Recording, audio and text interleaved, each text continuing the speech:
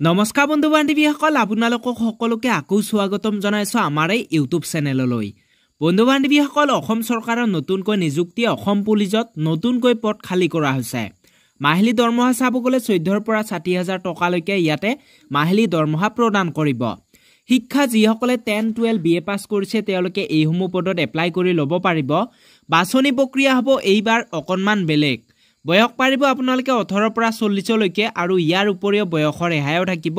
S C S T নাইবা যদি আপোনালোকে O' B C M O' B C হয় তেতিয়াহ'লে বয়সৰ ৰেহাইও পাব। আবেদন মাচুল দিব নালাগে সম্পূৰ্ণ বিনামূলীয়াতে কৰিব পাৰিব আপোনালোকে এইসমূহ পদত আবেদন। তো আবেদন কেতিয়াৰ পৰা আৰম্ভ হ'ব কেনেকৈ এপ্লাই কৰিব সম্পূৰ্ণ ডিটেইলছখিনি জানিবলৈ এই ভিডিঅ'টো আপোনালোকে শেষলৈকে চাই থাকিব। আৰু বন্ধু বান্ধৱীসকল যদি আপোনালোকে অসম চৰকাৰৰ প্ৰতিটো চাকৰিৰ খবৰ আপোনালোকে নিজৰ মোবাইলতে চাব বিচাৰে তেতিয়াহ'লে আমাৰ ইউটিউব চেনেলটি আপোনালোকে ছাবস্ক্ৰাইব কৰি ৰাখিব। আৰু যিটো বেল নটিফিকেশ্যন আছে সেইটো দবাই থ'ব একেবাৰে নাপাহৰিব।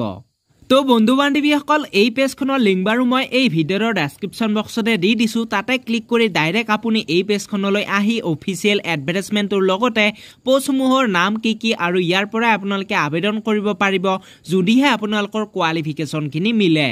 তো ইয়াতে পষ্টসমূহৰ নাম চাব গ'লে inspector S I head constable আৰু কনষ্টাবলৰ ভেকেঞ্চি মুকলি কৰা হৈছে। টোটেল পদ চাব গ'লে তিনিশ বত্ৰিছটা পদ আৰু এই এডভাৰটাইজমেণ্টটো আহিছে। অসম চৰকাৰ তৰফৰ পৰা অৰ্থাৎ অসম পুলিচ তৰফৰ পৰা আহিছে এই এডভাৰটাইজমেণ্টটো এপ্লিকেশ্যন প্ৰচেছটো চাব গ'লে আপোনালোকে অনলাইন মাধ্যমেৰে কৰিব লাগিব। আবেদন আবেদন মাচুল এটকাও দিব নালাগে সম্পূৰ্ণ বিনামূলীয়াতে কৰিব পাৰিব। এইসমূহ পদত এপ্লাই আৰু ইয়াৰে আবেদন আৰম্ভ হ'ব বন্ধু বান্ধৱীসকল এক ছেপ্টেম্বৰ দুহেজাৰ তেইছৰ পৰা আৰু ইয়াৰে অন্তিম তাৰিখ চাব গ'লে পোন্ধৰ ছেপ্টেম্বৰ দুহেজাৰ তেইছলৈকে আবেদন প্ৰক্ৰিয়াখিনি চলি থাকিব। প্ৰথম যিটো পোষ্ট প্ৰথম পোষ্টটোৰ নাম হৈছে ইনস্পেক্টৰ বি। ইয়াতে দুটা পদ মুকলি কৰা হৈছে। ইয়াৰ বাবে আপোনালোকক দৰমহা প্ৰদান কৰিব বাইছৰ পৰা সাতানব্বৈ হাজাৰ টকালৈকে আৰু ইয়াৰ লগতে থাকিব গ্ৰেড পে দহ হাজাৰ তিনিশ টকা। দুই নম্বৰ যিটো পোষ্ট দুই নম্বৰ পোষ্টটোৰ নাম হৈছে চাব ইনস্পেক্টৰ ইয়াতে ষাঠিটা পদ মুকলি কৰা হৈছে। দৰমহা চাব গ'লে চৈধ্যৰ পৰা ষাঠি হাজাৰ পাঁচশ টকালৈকে আপোনালোকক মাহিলী দৰমহা প্ৰদান কৰিব। লগতে থাকিব গ্ৰেড পে এই পোষ্টটোৰ বাবে। তিনি নম্বৰ যিটো পোষ্ট তিনি নম্বৰ পোষ্টটোৰ নাম হৈছে হেড কনষ্টাবল সত্তৰটা পদ মুকলি কৰা হৈছে। দৰমহা চৈধ্যৰ পৰা ষাঠি হাজাৰ পাঁচশ টকালৈকে আৰু ইয়াতে থাকিব গ্ৰেড পে ছয় হাজাৰ আঠশ টকা। চাৰি নম্বৰ পোষ্টটো চাব গ'লে ইয়াতে হৈছে কনষ্টাবলৰ ভেকেঞ্চি দুশটা পদ মুকলি কৰা হৈছে চৈধ্য হাজাৰৰ পৰা ষাঠি হাজাৰ পাঁচশ টকালৈকে লগতে থাকিব গ্ৰেড পে পাঁচ হাজাৰ ছয়শ টকা। আৰু ইয়াতে এপ্লাই কৰিলে বন্ধু বান্ধৱীসকল আপোনালোকৰ এমপ্লয়মেণ্ট এক্সচেঞ্জ ৰেজিষ্ট্ৰেশ্যন কাৰ্ডখনটো বাধ্যতামূলক। এইখন যদি আপোনালোকে এতিয়ালৈকে বনাই লোৱা নাই তেতিয়াহ'লে এইকেইদিনৰ ভিতৰতে আপোনালোকে বনাই ল'ব বন্ধু বান্ধৱীসকল অনলাইন মাধ্যমতে কৰিব পাৰিব আপোনালোকে এমপ্লয়মেণ্ট এক্সচেঞ্জ ৰেজিষ্ট্ৰেশ্যন কাৰ্ডখন বনাই ল'ব। তো যদি আপোনালোকে এতিয়ালৈকে বনাই লোৱা নাই তেতিয়াহ'লে এই ভিডিঅ'ৰ ডেছক্ৰিপশ্যন বক্সত আমাৰ নং আছে।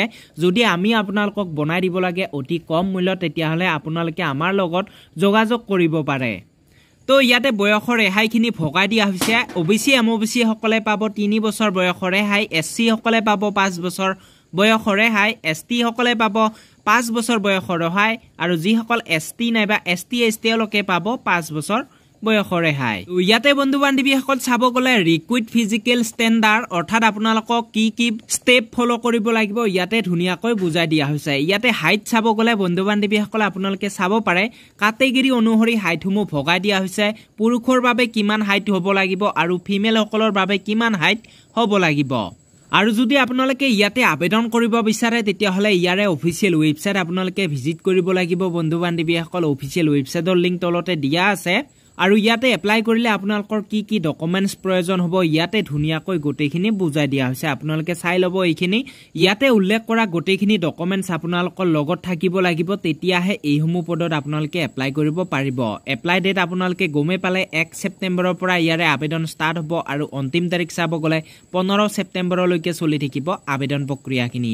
তো ইয়াতে চাব গ'লে এতিয়া ইজুকেশ্যন কোৱালিফিকেশ্যনখিনি ইজুকেশ্যন কোৱালিফিকেশ্যনখিনি ইয়াতে বুজাই দিয়া হৈছে বন্ধু বান্ধৱীসকল চাব গ'লে তো ইয়াতে আপোনালোকৰ এডুকেশ্যন কোৱালিফিকেশ্যন চাব গ'লে আপুনি মেট্ৰিক পাছ কৰা হ'ব লাগিব কিন্তু সকলোৱে মেট্ৰিক পাছ কৰিলেও ইয়াতে আবেদন কৰিব নোৱাৰিব।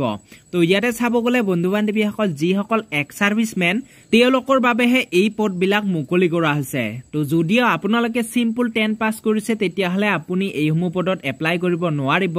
যদি আপোনালোকে এক্স ছাৰ্ভিচমেন হয় তেতিয়াহে এইসমূহ পদত আপোনালোকে এপ্লাই কৰিব পাৰিব।